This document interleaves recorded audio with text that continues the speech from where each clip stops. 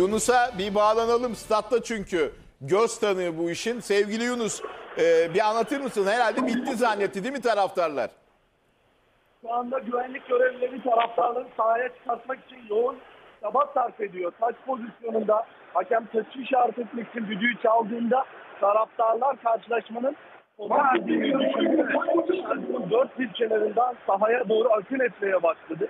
Hemen stadyumdan anons yapıldı karşılaşmanın bitmediğine, müsabakanın devam ettiğine dair ama sahaya sayısı gerçekten oldukça fazla olduğu için şu anda saha hala boşaltılmaya çalışılıyor. Antalya Spor futbolcular güvenlik görevlileri tarafından saha kenarına e, çekildi şu an itibariyle. Bir koridora alınmış durumda ve şu an itibariyle sahada herhangi bir taraftarın kalmadığını söyleyelim. Hakem maçın ortasında, orta sahada şu anda ve e, orada şu anda hakemin vereceği karar bekleniyor ama güvenlik görevlileri şu an itibariyle saha kenarında da gerekli tüm önlemleri almış durumda.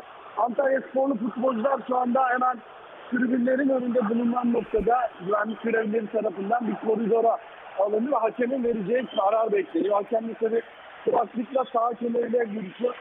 Ama Antalya spor oyuncular da şu anda sahaya geri dönüyor. Trabzonsporlu taraftarların alkışları arasında sahaya geri dönüyorlar. Kaptan Uğurcan Çakır da hakemin yanında şu an itibariyle.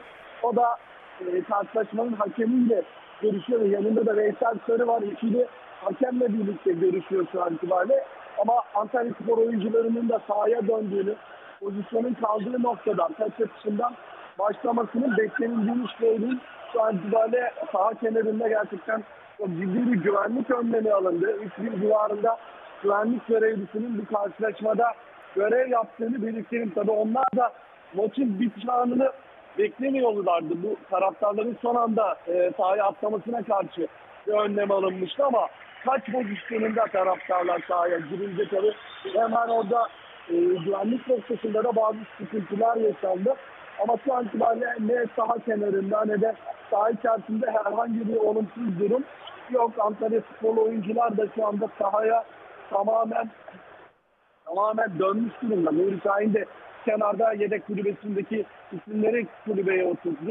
Ee, kenarda da gerekli önlemler alındı ve hakemin kenardan onay yapması bekleniyor. Şu anda yardımcı hakemine işaret verdi Yiğit Aslan'a. Ondan onay bekliyor ve ondan onay gel o da onayını verdi şu an itibariyle. Karşılaşmanın dördüncü hakemi Yiğit Aslan da onayını verdi.